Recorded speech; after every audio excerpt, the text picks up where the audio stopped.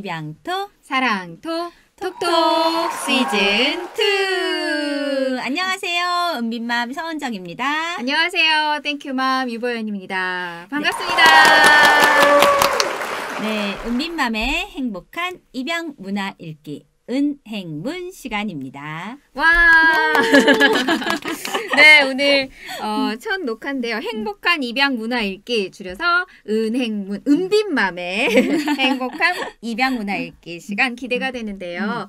네, 은빈맘 음. 음, 은빈이가 둘째인가요, 첫째인가요? 네, 저희 은빈이는 둘째예요. 아. 네, 제가 이제 은빈이가 올해 9살 됐으니까 입양 가족이 된 지 한 근 10년이 되어가는 아. 그런 음, 10년 차쯤이라고 봐 주셨으면 좋겠습니다. 네. 그런데 사실 오늘 너무 첫녹화라서 제가 긴장도 너무 많이 되고 어제 네. 새벽 2시까지 잠을 못 잤어요. 네. 제가 좀 실수를 하더라도 너그러이 좀 봐주셨으면 좋겠습니다. 네. 아우, 전혀 몰랐습니다. 네, 좀 자연스럽게 잘 하고 계신 것 같습니다. 네. 앞으로 이 은행문 어떤 내용들로 채워지게 될까요? 네, 제가 은빈이를 입양하면서 사실 그동안 입양 서적을 읽기도 했고 뭐 드라마, 영화 음. 등을 많이 봤었어요. 네. 그런데 이런 것들을 저 혼자 읽고 보는 것이 아니라 다른 사람들과 함께 이야기 나눴으면 한 시간이 있으면 좋겠다. 음. 항상 그렇게 생각했었거든요. 네. 그러면서 이번에 기회가 닿아서 이렇게 음. 이 시간을 함께 하게 되었습니다. 네, 어, 입양 관련된 책이나 영화, 드라마 이야기를 이 시간 함께 나눠보게 될 것 같아요.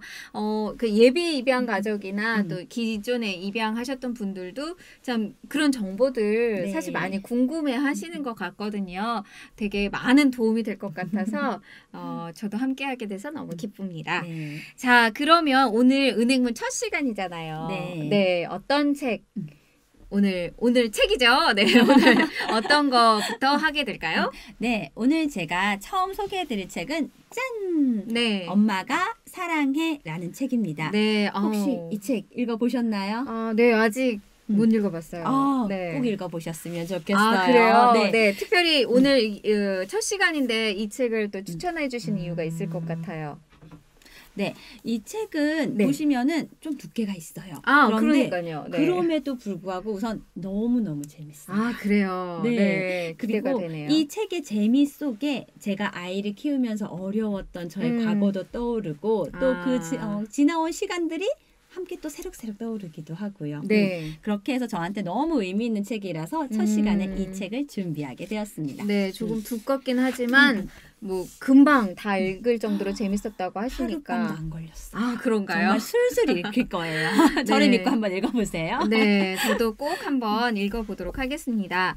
아, 그렇다면 그 이 책에 대한 간단한 소개 부탁드릴게요. 네, 이 책은 음, 숲속 여우비 출판사에서 나온 책 으로 스리, 어, 스위스에서는 도리스 클링앤베르그라는 음. 음, 저는 이제 도리스 엄마라고 아, 부르거든요. 네네네. 예, 도리스 엄마가 음. 웅이라는 한국인 아이를 입양하면서 음. 겪게 되는 일을 직접 쓴 책입니다. 아, 그렇구나. 근데 특별히 추천하시는 이유가 있다면?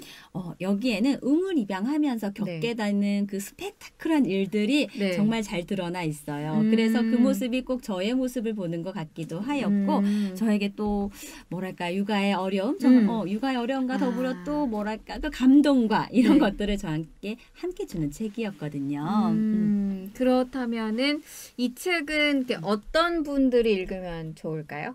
여기에 나오는 웅에게는 음. 라스라는 형이 있어요. 즉 아. 무슨 이야기냐면 친생자가 있는 네네네. 가정에서 만약에 아. 둘째 아이, 셋째 아이 입양을 음. 고민하신다면 네. 아마 이 책이 교과서처럼 읽힐 수 있을 거라고 생각합니다. 아, 그렇군요. 친생자가 있고 어, 둘째 아이나 셋째 아이를 입양하려고 하시는 분들 이 채널 지금 놓치지 마시고 이 영상 놓치지 마시고 끝까지 함께 하시면 좋을 것 같습니다. 자, 그러면 어, 본격적으로 책에 대해서 한번 이야기를 나눠보도록 하겠는데요. 도리스 부부에게 그 친생자 있다고 하셨는데 네. 그 아이는 어, 입양에 대해서 어떻게 생각을 했었나요? 네, 말씀하신 것처럼 도리스 엄마 아빠는 라하스라는 아이를 낳아서 음. 키우고 있었어요. 네. 그 과정에서 이제 둘째 아이를 입양을 준비를 하고 음. 그러면서 아, 큰 아이에게 음.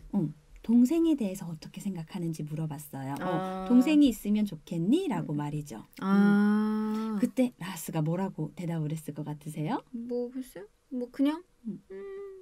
어, 그냥? 모른 척? 대부분의 아이들이 아니 뭐 좋아? 네. 싫어? 네. 뭐 이런 식으로 얘기를 네. 했겠죠. 저도 그렇게 예상을 했었는데 아, 라하스의 대답이 아주 기가 막혔어요. 아 그런가요? 네. 네. 아니 차라리 고양이 한 마리가 있으면 좋겠어요. 어, 좀 알 것도 같기도 하고 네. 좀 음, 의외의 대답이네요. 예, 네. 사실 저는 굉장히 놀랐어요. 저희 네. 어른의 시선으로는 음. 좀잘 이해할 수 없는 네, 대답이었거든요.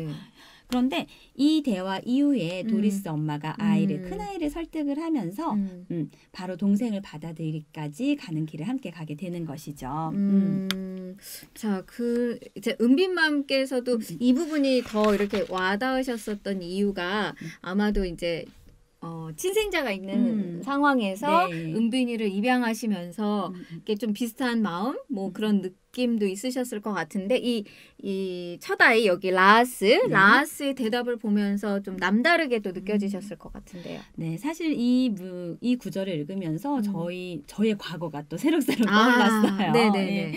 예. 저는 사실 여기 나오는 이 엄마 음. 아빠처럼 현명하지 못해서 음. 큰 아이와 함께 입양에 대해서 본격적으로 얘기를 해본 적이 없었어요. 그냥 아. 뭐 동생이 생길 거야 그 정도만 음. 음, 이야기를 했었는데 음. 그러다 보니까 우리 아이가 어느 순간 음. 틱이 오더라고. 아, 틱, 틱장에. 네네, 네. 눈이 깜빡깜빡하는. 아. 그냥 말도 없이 가만히 있다가 음. 그래서 너무 놀라서 전문가 분들하고 상담을 네. 해보니 이게 아이의 불안이 나타날 때 아. 그런 모습이 어. 나타날 수 있다고 하더라고요. 음, 네. 그러니까 저희 아이가 제가 여기 나오는 도리스 엄마 아빠처럼 현명하게 대화를 하면서 같이 하지 못하다 보니 음. 우리 아이가 스트레스를 느끼고 아이다 보니 음. 그것이 그렇게 나타났던 거였어요. 음. 음. 그래서 저의 그 아픈 과거가 새록새록 떠오르기도 하면서 네. 앞으로 입양을 고민하시는 많은 분들은 음. 저처럼 실수하지 마시고 아, 네, 네. 이미 아이랑 같이 의논하시면서 함께 이 음. 과정을 겪어 나가셨으면 좋겠어요. 네, 친생자가 있으신 경우에는 꼭 이제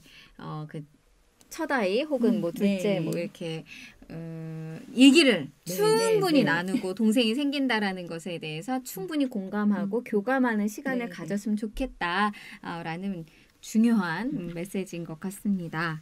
구독, 좋아요, 알림 설정 필수 감사합니다.